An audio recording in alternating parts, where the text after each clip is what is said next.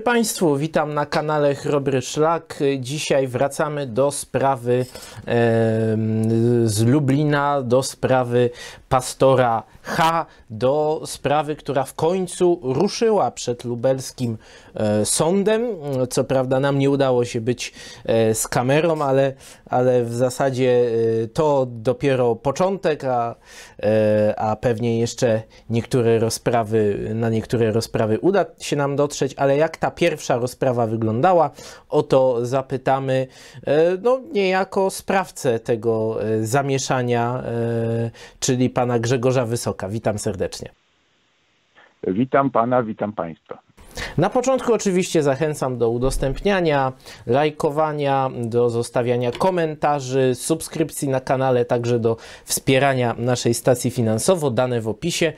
No i właśnie e, w Wielką Środę, podobno nie ma przypadków, są tylko znaki, a Wielka Środa to, no to wiadomo, Wielki Tydzień to też taki, taki dzień, kiedy się wspomina zdradę Judasza, a w Wielką Środę w końcu ruszył proces e, pastora H. z Lublina, znanego e, pewnie e, wielu naszym widzom ze swoich, prawda, patostreamów na e, YouTubie, z różnych, powiedzmy, swoich wystąpień budzących, budzących kontrowersje.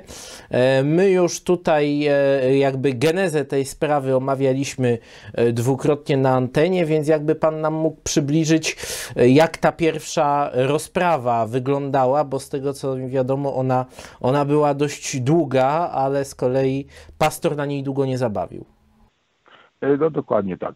To znaczy, e, może zacznijmy od tego, że już nie musimy stosować tej formuły Paweł H., bo e, on sobie nie zastrzegł tej anonimości, wie- anon- anonimowości, a wręcz przeciwnie, chyba zależy mu nawet na rozgłosie, więc już będziemy używali pełnego nazwiska, czyli chodzi o Pawła Chojeckiego, przywódcę e, sekty pod nazwą Kościół Nowego Przymierza, którego proces właśnie ruszył, jak pan zauważył, w, czo- w Wielką Środę.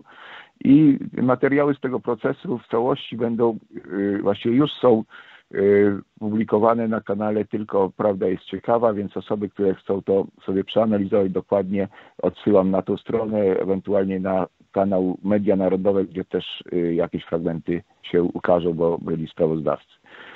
Y, Więc jak y, Państwu zapewne wiadomo, jest taka grupa re- religijna pod nazwą Kościół Nowego Przymierza, którego szefuje mm, Paweł Chojecki, z wykształcenia inżynier, nazywający sam siebie pastorem, chociaż kompetencji po temu moim zdaniem żadnych nie posiada.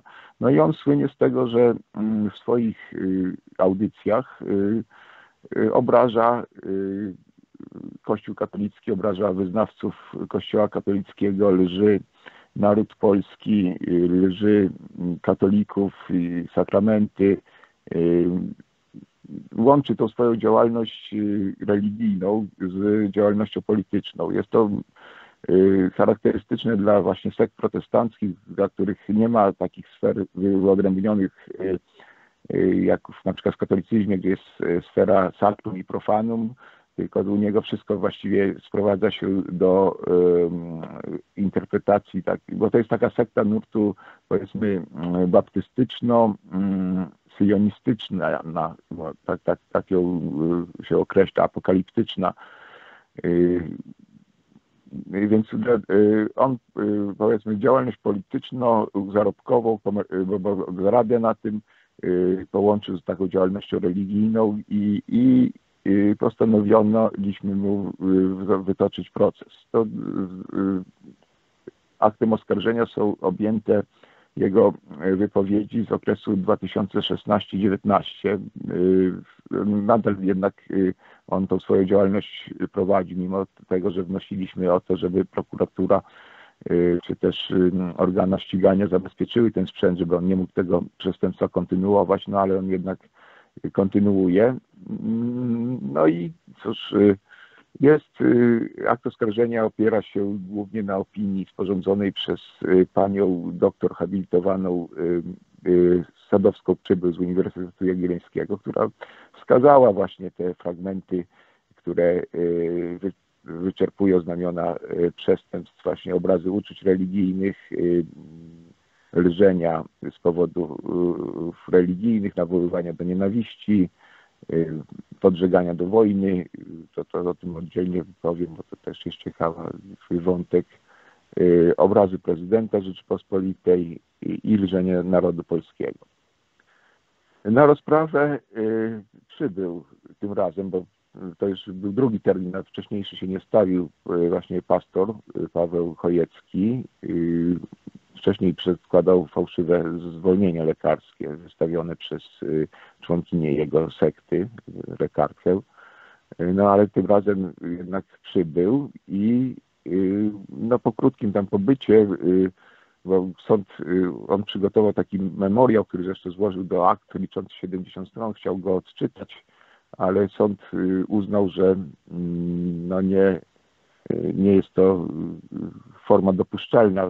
On może zeznawać oczywiście, ale nie, nie odczytywać powinien. Jeżeli się decyduje na pozostanie, no to powinien być obecny, odpowiadać na pytania stron i zeznawać z głowy, a nie posługując się odczytywaniem przygotowanego wcześniej tekstu, który zresztą, jak mówię, wcześniej do akt złożył. Więc po, po, po takiej odpowiedzi Paweł Chojecki opuścił salę rozpraw, pozostał tam jego obrońca, zresztą też członek sekty, mecenas Turczyn. No i rozpoczęła się procedura przesłuchiwania świadków i pokrzywdzonych i jednocześnie oskarżycieli posiłkowych, bo ja, pan Radosław Patlewicz i pan Bieganowski mamy status oskarżycieli posiłkowych, o co żeśmy wnosili. Więc na wstępie rozprawy ja złożyłem wniosek o przebadanie pod, pod kątem psychiatrycznym pastora na okoliczność, czy on jest w ogóle poczytalny, czy może odpowiadać karnie, czy, czy, czy powinien być leczony. Wniosek mój oczywiście został oprotestowany przez mecenasa Turczyna, ale sąd nie odrzucił go, lecz uznał, że sprawa tą oceni w trakcie przewodu. To znaczy, jeżeli dopatrzy się, że zachowanie oskarżonego może wskazywać, że jest on niepoczytalny, no to wówczas ten wniosek podejmie decyzję co do, co do tego przebadania.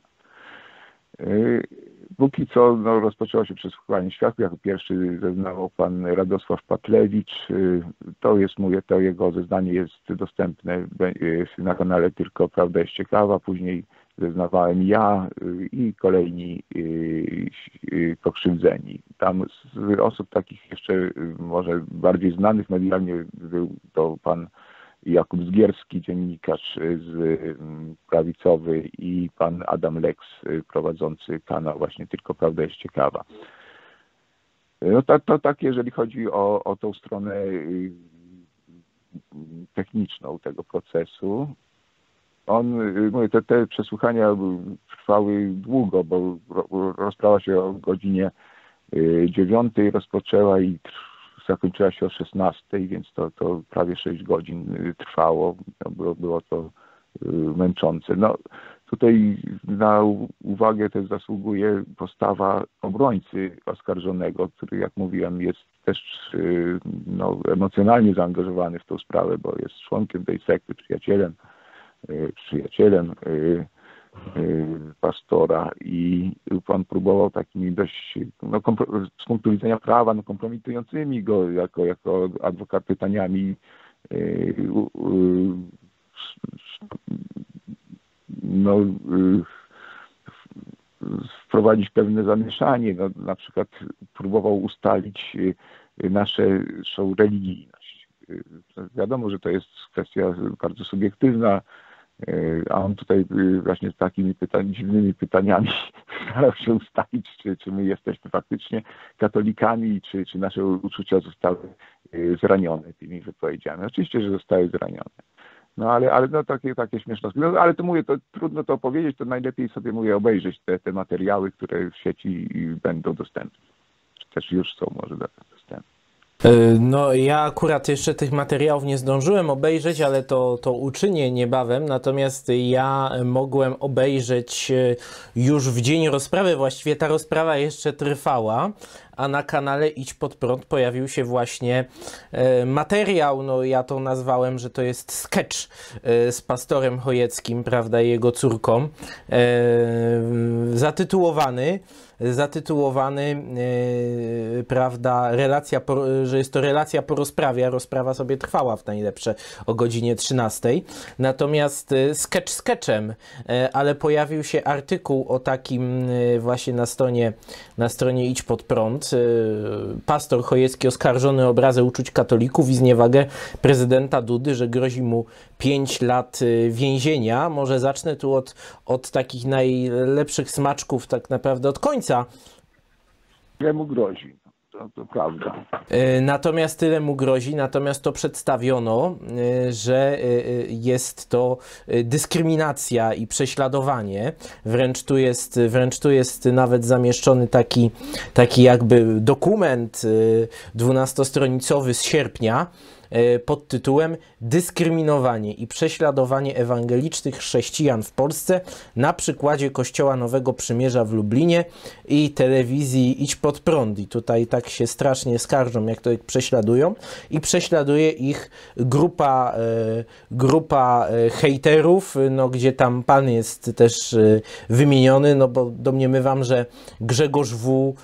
Grzegorz W. to pan, bo ja, ja akurat nie jestem oskarżony, więc nie wiem dlaczego moje nazwisko wpiszę w taki sposób, y, jakby chcąc mnie w ten sposób dezawuować. No może taki to jest taki właśnie zabieg powiedzmy, zabieg y, taki propagandowy.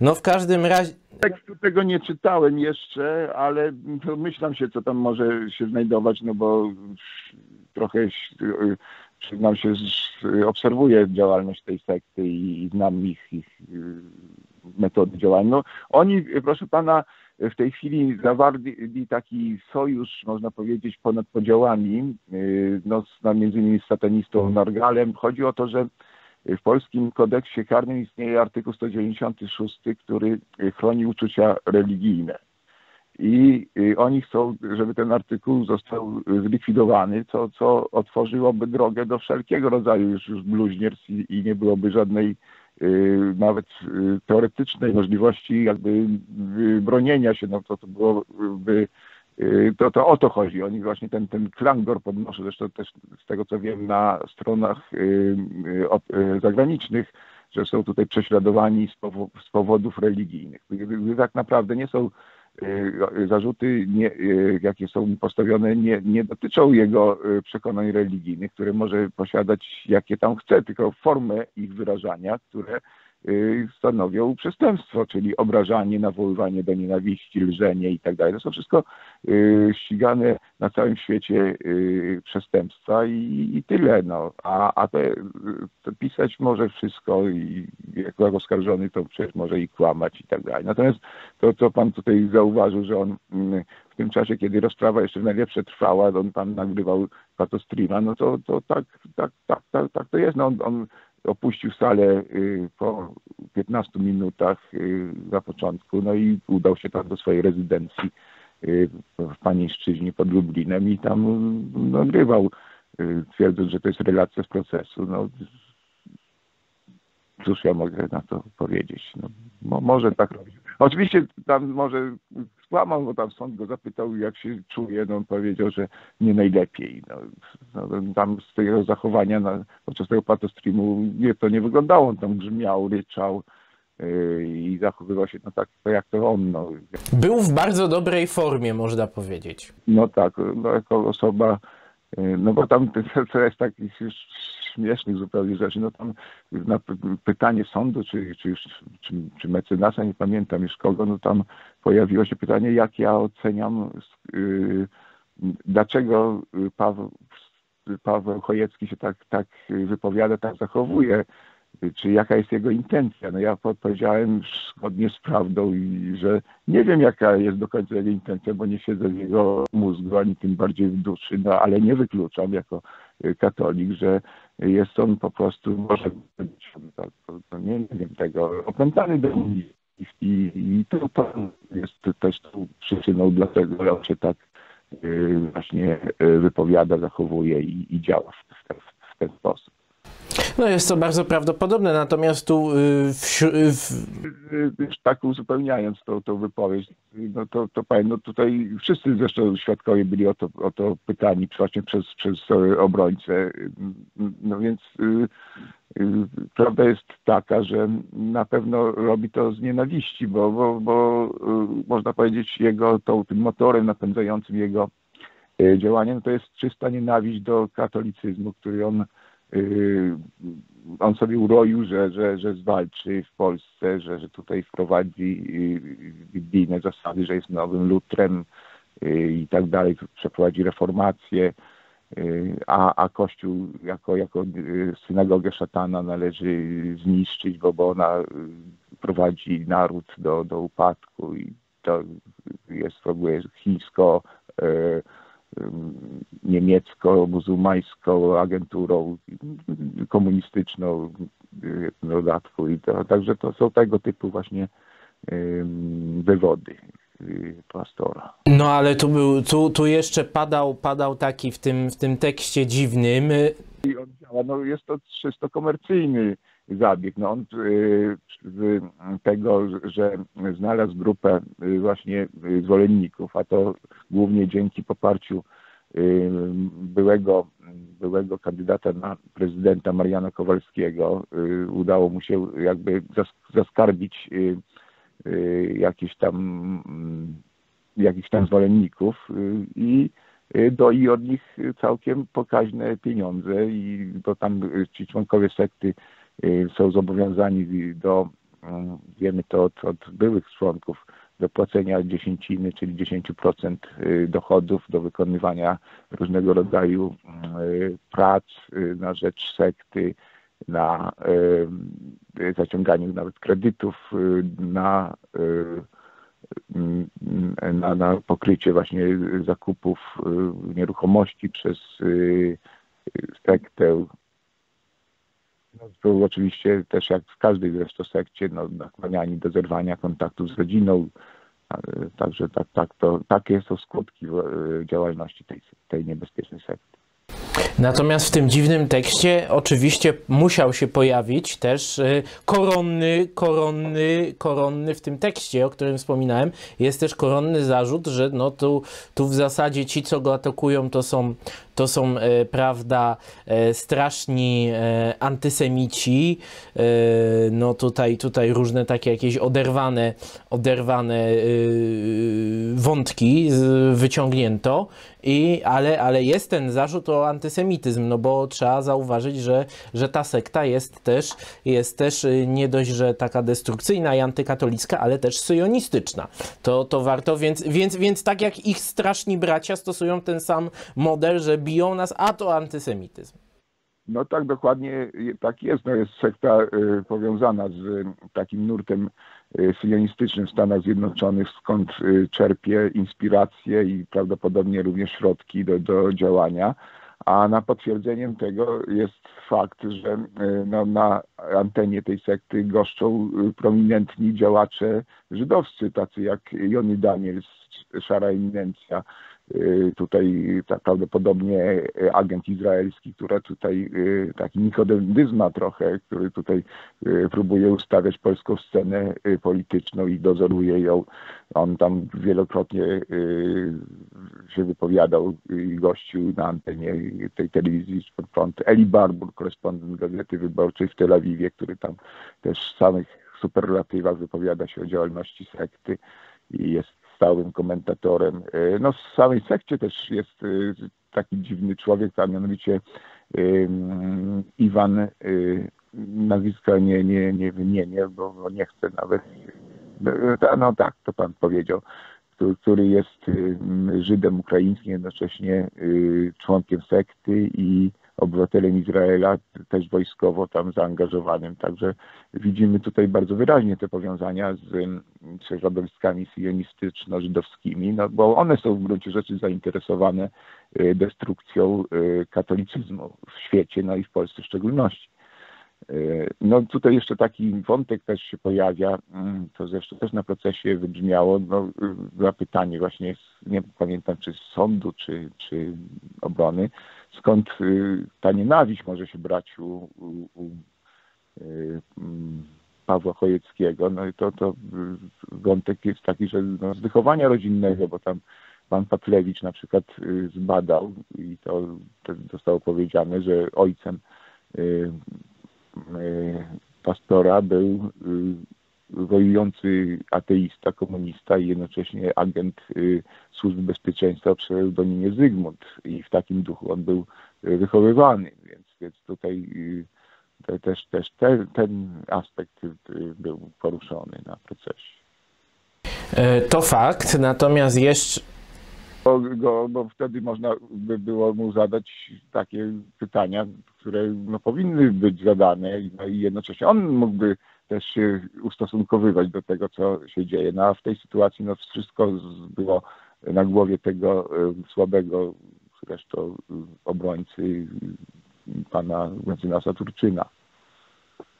E, tutaj, tutaj jeszcze z tych zarzutów oni się odnosili tak bardzo bardzo intensywnie i w tekście, i w tym sketchu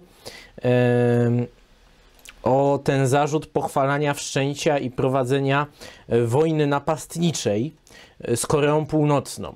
I e, to już jest komedia, wie pan, bo to chodzi o to, że oni tam złożyli wniosek dowodowy, żeby przesłuchać przedstawiciela Ministerstwa Spraw Zagranicznych na okoliczność, czy między Polską a czy też NATO trwa nadal wojna. I, bo tam chodzi o to, że pastor w jednej z audycji, zresztą wspólnie z Marianem Kowalskim, zachęcał Stany Zjednoczone do wszczęcia wojny, wojny nuklearnej, ale nie z Koreą bynajmniej północną, tylko z Chińską Republiką Ludową, w wyniku której to wojny, jak oni tam mówili, no zginie może 300 milionów ludzi, ale co to jest? To, gdy w ten sposób ocali się świat od zagrożenia y, komunizmem, więc y, y, chodzi o... Ale to taka argumentacja trochę, podobną argumentację to kilkadziesiąt lat temu stosował właśnie Mao Zedong, kiedy namawiał, namawiał chyba Chruszczowa, namawiał Mao, żeby, żeby rozpocząć wojnę nuklearną z Zachodem, bo pół, połowa ludzkości zginie, ale zawsze zostaje druga połowa i ta druga połowa zbuduje komunizm. No to, to właśnie tutaj, a tutaj odwrotnie, tutaj akurat y, y, tam, tam dokładnie brzmi tak, wojna nie jest niczym złym, wojna nie jest niczym złym, o ile to biblijny Zachód zdecyduje się ją wszcząć. No bo cóż taka wojna, nawet nuklearna, może y, kosztować 300 milionów ludzi? Wątpię. No, to, tak, tak mniej więcej tam, to co zapamiętałem z tej, z tej dłuższej kwestii, tak to brzmiało. Ale to nie chodziło o Koreę Północną, jak, jak tam yy, próbuje ją zasugerować, tylko to chodziło o Chiny.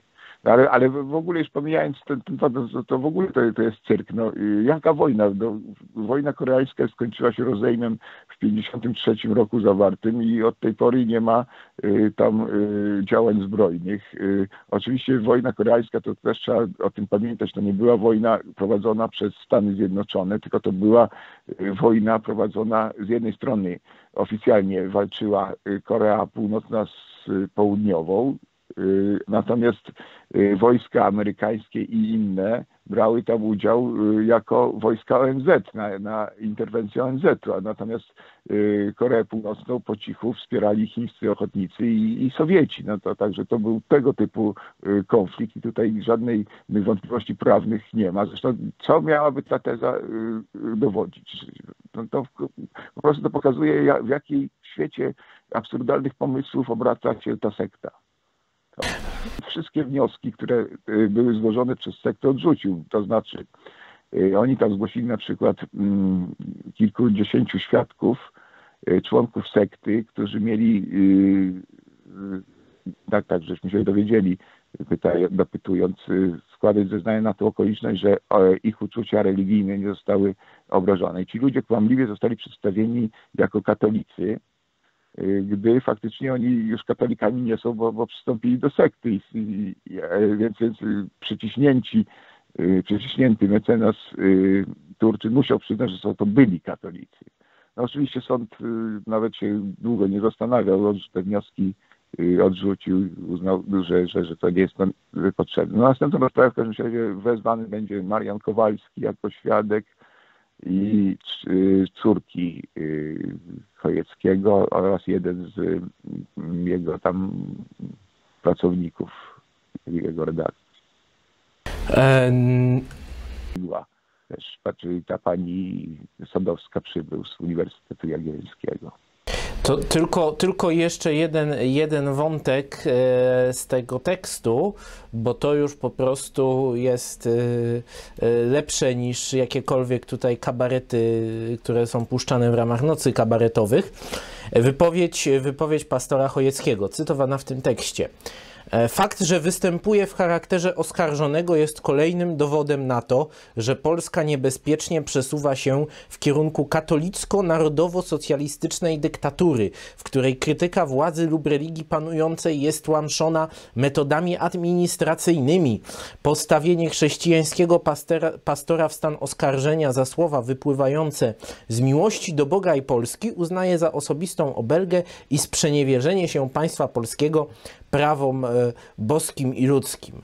E, Mamy tą narrację, to szkoda to, to cytować. No, y, wiemy, jaka to jest miłość. Jest to miłość polegająca na tym, że się y, sekta modli o śmierć swoich y, przeciwników, jak na przykład Stanisława Michalkiewicza i a miłość do Polski polega na tym, że naród polski jest tam leżony i nazywany narodem brudasów, pijaków, złodziei, pasożytów, nieudaczników, etc., y, etc. Y, no, jest to taka linia obrony, taką, taką przyjęli i tak będą w to brnąć. No i będą, mówię, wszczynali hałas na cały świat i, i obawiam się, że, że, że ten hałas może się przyczynić do, do ataków na Polskę. Zresztą chyba taki jest głównie cel. No to, jak widzimy, co się dzieje w tej chwili, w tej chwili trwa Y, nagonka y, na Polskę ze wszystkich środowisk, głównie żydowskie y, tutaj, ale i niemieckie, i rosyjskie też w tym uczestniczą. No i ta, e, e, te, te, te, te wrzaski sekty rzekomo dyskryminowane będą tutaj na pewno też wykorzystane do ataków na, na, na państwo polskie.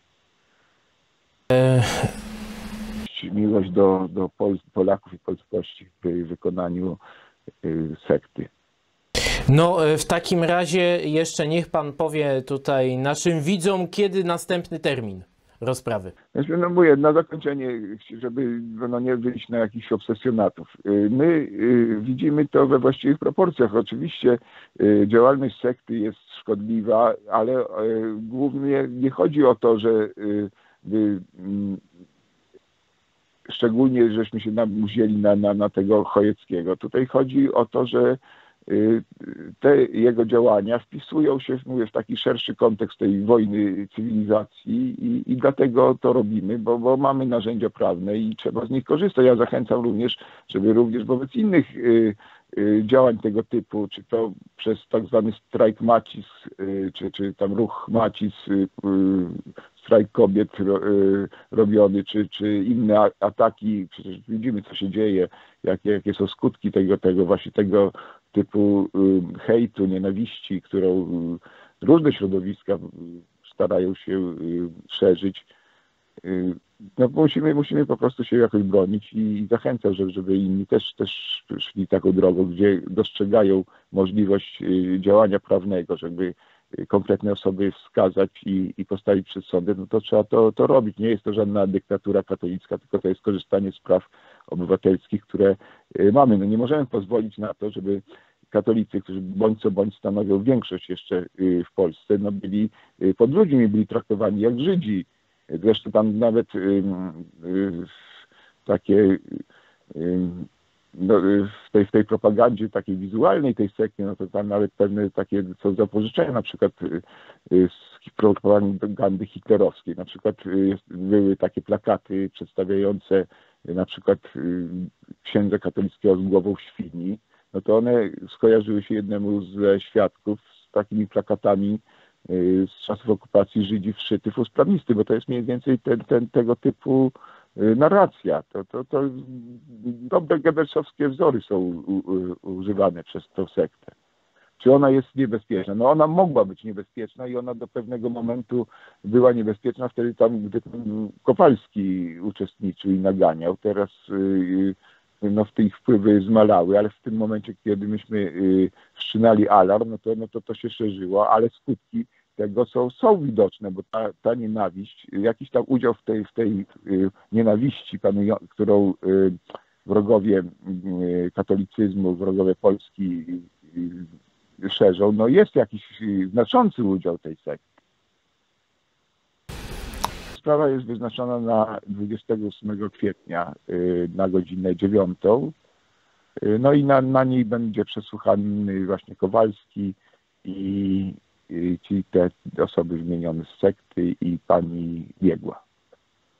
E, No, czyli za miesiąc, można powiedzieć, ciąg dalszy, sprawa będzie monitorowana. No ja na koniec może tylko dorzucę, że, e, że e, czasem jeden, jedna taka sprawa wytoczona e, za takie, za takie ataki na jakąś grupę, no w tym wypadku na katolików, e, mityguje innych i tutaj służy jako taki przykład i taki straszak, więc tym lepiej, że takie coś się stało. Na prewencji ogólnej to, to się nazywa fach- fachowo, to znaczy chodzi o to, że tam ukaranie przykładne pewnego osobnika no, może działać prewencyjnie na innych, którzy, którzy chcieliby tą samą drogą podążać, więc y, ufamy, że, no, że, że, że dojdzie do skazania, a w następnej kolejności do delegalizacji też sekty, no bo y, gdyby nale- można złożyć wniosek do MSWiA o właśnie przyjrzenie się od strony finansowej, ale też i karnej no, działalności tej, tej, tej grupy. Grupy, dodajmy, która y, jest y, w posiadaniu znacznego arsenału broni palnej i, i wiadomo, dlaczego może się posunąć, znając i no mówię, tą, nie, to, to, tą nienawiść, jaką, jaką pała do całego otaczającego świata. No dokładnie. że w Stanach Zjednoczonych y, wielokrotnie dochodziło do, do takich rzeczy, czy to do zbiorowych samobójstw, czy też jak w przypadku sekty Szczep Dawidowy, no do, do walk y, y, y, wielodniowych. No właśnie. I tu może już, już postawmy, już postawmy tutaj kropkę, że tak powiem, wystarczy, wystarczy yy, już yy, tych informacji na temat, na temat sekty. Nie przesadzajmy, lepiej, lepiej już się skupić na, na świętach nadchodzących, yy, więc to tyle w tym materiale. Moim Państwa gościem był Pan Grzegorz Wysok. Dziękuję bardzo za rozmowę. Dziękuję i również życzę wszystkim y, radosnych świąt Zmartwychwstania Pańskiego. I ja się do tych y, życzeń przyłączam. No nawet jakby po, po świętach, dopiero czy w świętach się ten materiał ukazał, to ja przypominam, że święta trwają przez całą oktawę, więc te życzenia, nawet jeśli je Państwo usłyszycie, nie wiem, w trakcie czy czy po tych właściwych świętach poniedzieli zmartwychwstania nadal są aktualne. I to tyle. Zachęcam oczywiście do udostępniania tego materiału, zostawiania lajków, subskrypcji, komentarzy i wspierania naszego kanału. Dziękuję bardzo. Do zobaczenia.